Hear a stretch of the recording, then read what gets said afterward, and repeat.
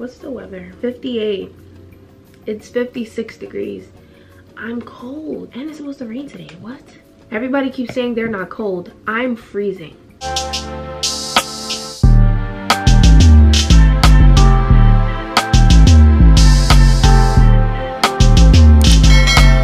So it's October, I think personally that it's already too cold. It's way too cold.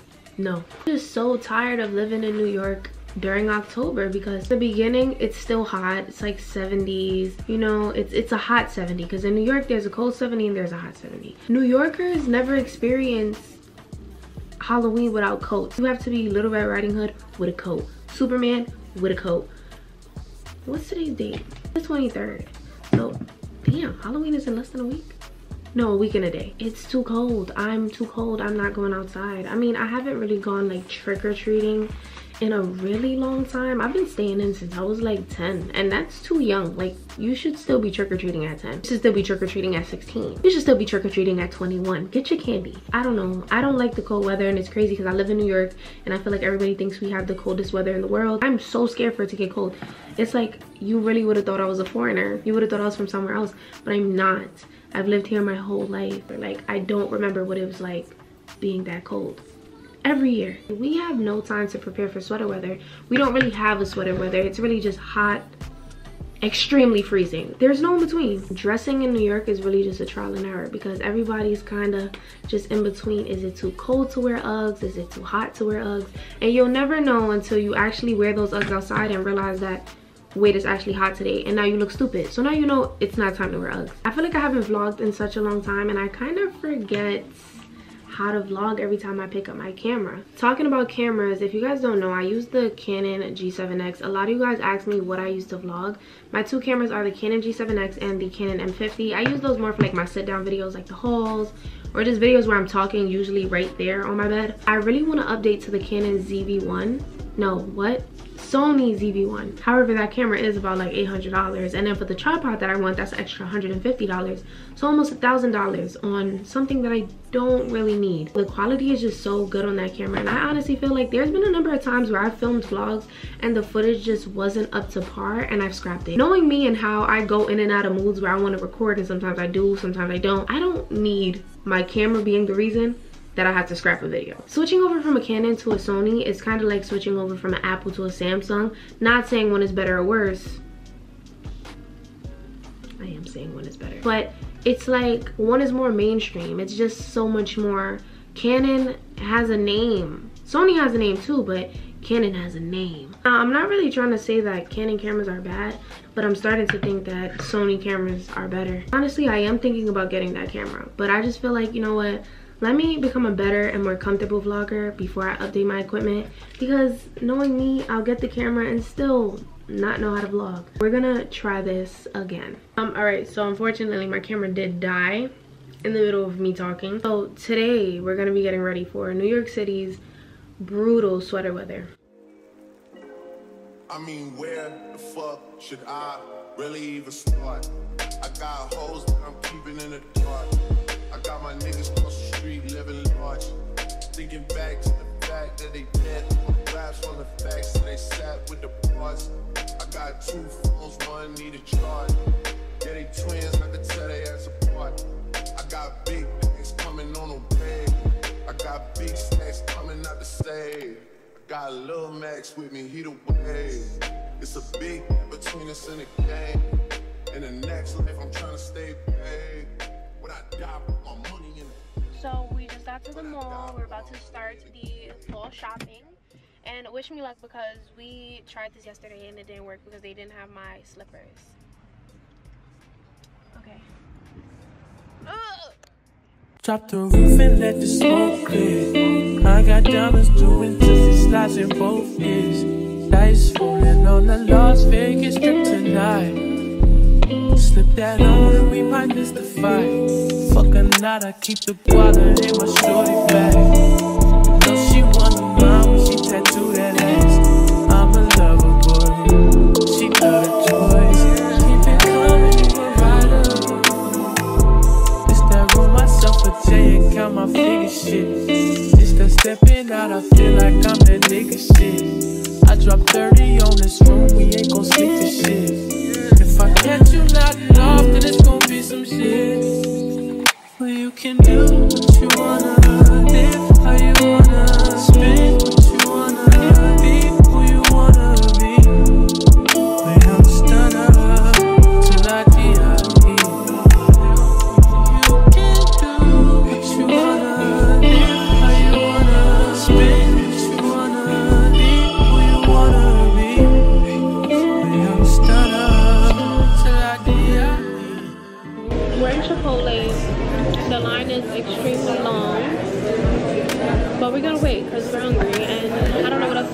Maybe Panera Bread.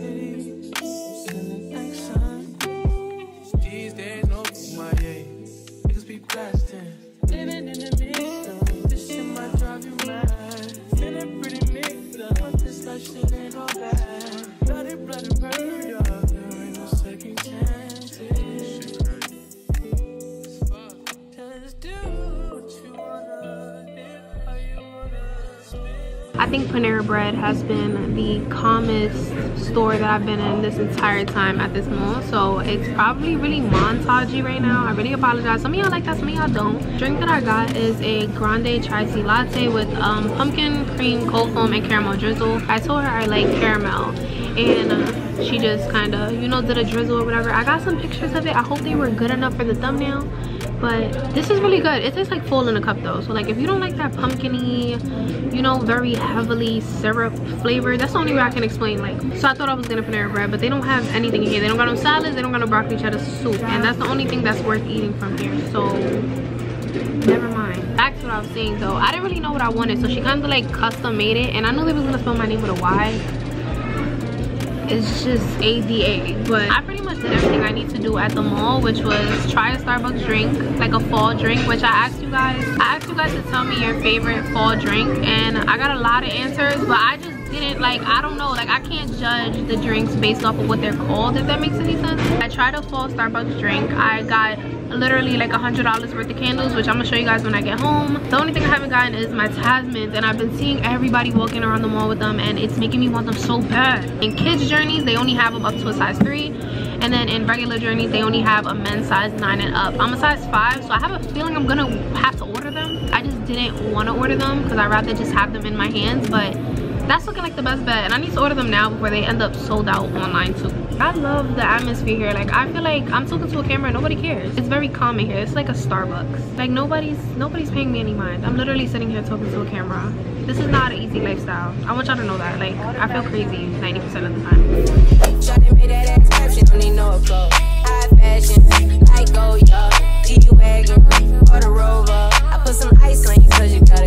I know I gotta keep my.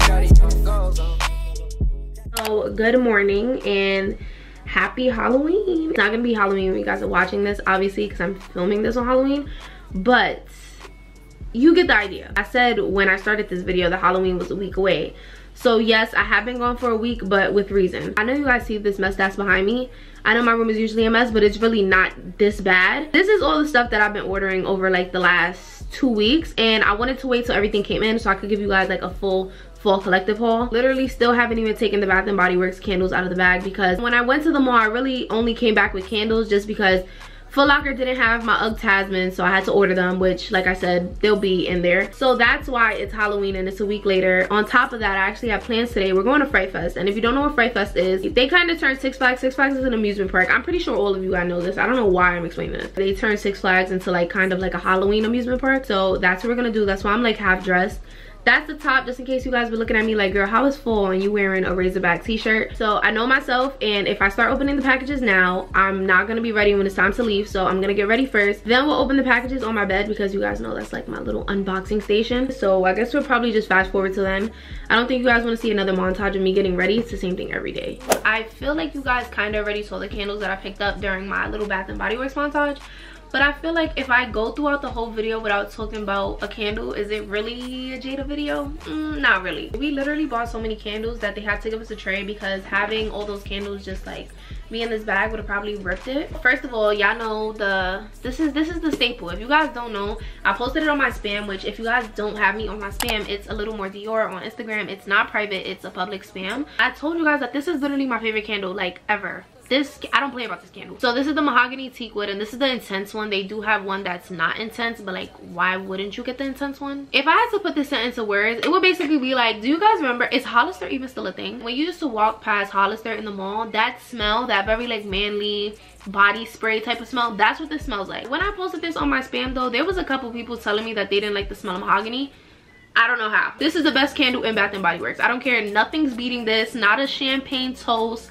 Not a white marshmallow latte nothing none of that is beating this um so autumn woods is this green one it has dark walnut english lavender and white amber this one smells really good. I don't know how to really explain the smells of candles to y'all. Y'all just gonna have to go in and just smell my recommendations. White gardenia. This is gardenia petals sweet apple and white tuberose this one smells the most floral of all of them. Lakeside morning. The smell literally says crisp air driftwood and fresh green apple. Like this literally smells like fresh air. I don't know how to explain it. I don't know how that makes sense but it says it on the candle. It has scents or hints of fresh air crisp air at that. Eucalyptus mint. This is fresh eucalyptus sweet spearmint and lemon zest. This candle is the most like this gives me like a spa feeling. I don't really know how to describe candle smell so just go in and smell what i tell you to smell. This one is my favorite. This is the only one i think i can put into words how it smells.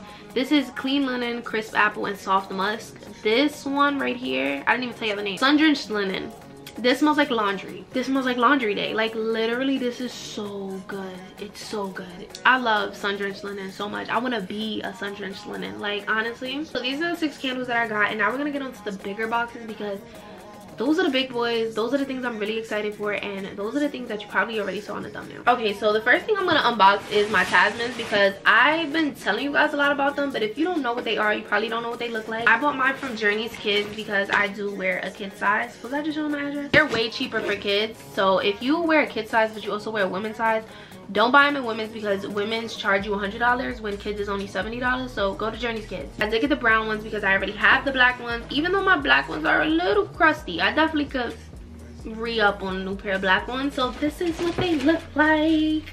A fresh pair of UGG Tasmans. They're brown. They're so pretty and they're so comfortable. First pair that i bought was my black pair like i said. And the reason why i bought them was because i was working at five below at the time mind you i was working during christmas time so i was on my feet a lot. They were saying how comfortable they are and literally i have not went back since. They go with everything. Like i literally have green sweats on right now and these wouldn't look bad with this. Maybe it would who knows? I'm not a stylist. Okay so now i feel like i have to open the thing that i'm the most excited about. Y'all don't even know. Now y'all probably know what it is already. I'm mad excited. I don't even want to touch it. Like i'm so excited. I just don't know which one is which. I forgot which one is which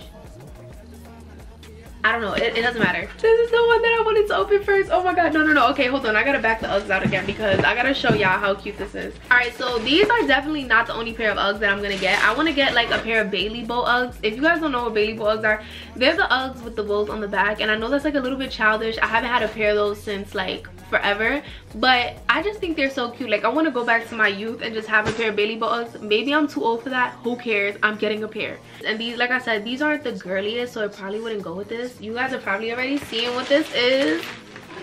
Yo i've been waiting to open this for so long. I've been waiting to open it. So if you guys don't know telfar and ugg have a collaboration which if you don't know where have you been living under a rock? Funny story i actually missed the release. Let me take out the bag. I know you guys are tired of hearing me talk. Y'all don't understand how excited i've been to open this bag.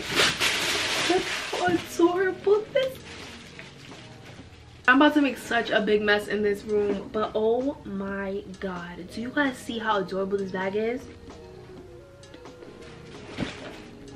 I was hearing a couple things about this and the way that, I mean, if you really think about it, this bag really is a little risky because, you know, the white fur on the edge could get really dirty. I also did hear that denim can stain this, which I don't really want to happen. I've been fiending to post this on Instagram, but I haven't been able to open it. But now I can post my little stories and I can post on my spam and i'm just so happy about it. That's literally adorable. Now i can put these away. Um so once again like i said i usually don't hesitate to buy Telfar bags just because i know i can sell it if anything. And i don't hesitate so much that i got another one this one is actually the moose knuckle collaboration. Like i said i was kind of done with the regular shopping bags but he was getting me. Oh my god. He had so many collaborations.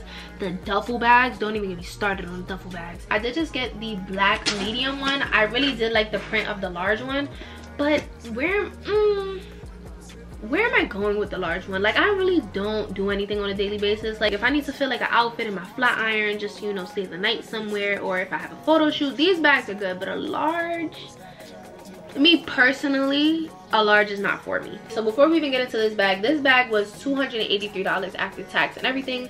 Retail retailed for 260 so the other one was a little bit more expensive but I'd expect it to be just because you know the fur the suede is you know just like a higher quality. Okay my camera wanted to be a hater it's also about to die so we need to get through this pretty quickly. This is the puffer bag. Ooh.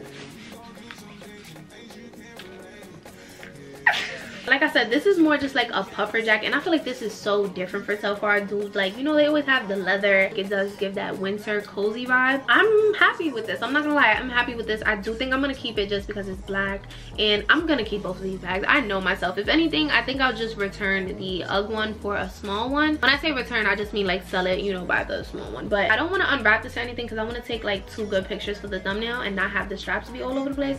But this is the second bag. This is super duper cute. Like i really do love this. And two more bags to add to the collection. Mr clemens go easy on me.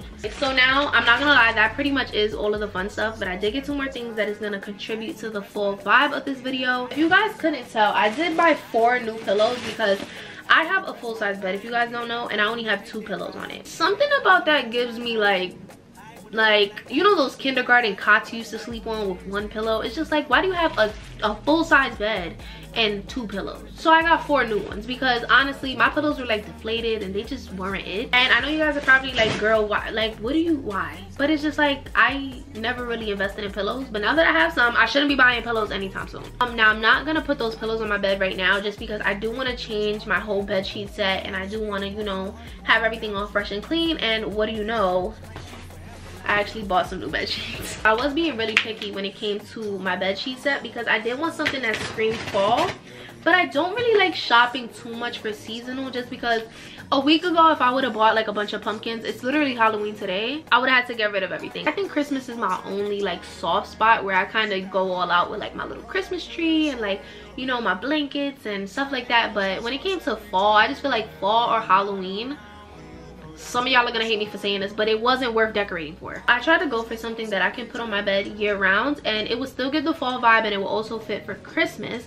I know you guys are probably curious like what in the hell did you get? What i did was i went ahead and got a flannel bed sheet and i feel like flannel gives very like pumpkin patch but it also gives a Christmassy vibe and I just felt like you know based on how I decided to decorate my room I feel like the flannel was just a really good compliment. It wasn't too out there. I could also use this year round and put some like pink pillows and make it really cute. I feel like this was really smart of me to get because it's very kind of season neutral. Um so the next thing that i got was just these two pillowcases. They're extra pillowcases just so all four of my pillows can go with my bed set. And i actually did a pretty good job at never mind i thought the grays matched. They kind of don't but it's fine. You know i always love it when my camera dies I did get both of these things from Amazon and I've been waiting to tell you guys a little surprise which is that I'm actually an Amazon partner now meaning that I have a storefront that you guys can buy everything that I mentioned in. And I'm super excited for this because you guys asked me where a lot of things are from and 90% of the time they're from Amazon. Um, so that's going to be linked down below. I'm not going to talk about it too much during this video but I just wanted to let you guys know in case you wanted the direct link to these bed sheets or the pillowcases or any books that I mentioned from my last video which I talked about my book recommendations I have a list up for that. Just whatever I buy. Like literally you guys are gonna see everything that I buy. You guys can go shop directly through there. Um so I actually have a quite big mess here that I have to clean up because as I told you guys we're leaving to Fright Fest in maybe about an hour or so. Up uh, see? That's the goal I have 15 minutes to get all this together and get ready, which is honestly not enough. I think I'm gonna leave my room like this. We gotta get ready. We gotta get on the road because Fright Fest is like an hour some change away. I gotta, I gotta get this together, so I gotta go. Every day every day up. Every day patches then white up. Oh God, you should match it, it's that KO. No one light us till I fuck my 28th up. 1998, my family had that grip. Oh, collection. Kept at least six discs in the changes. Back when Boswell and Percy had it active. Couple bishops in the city for the mention. Oh, the reverend. Preacher self-made millionaires at it. We could only eat at Shoney's on occasion. After Trina hit, I had to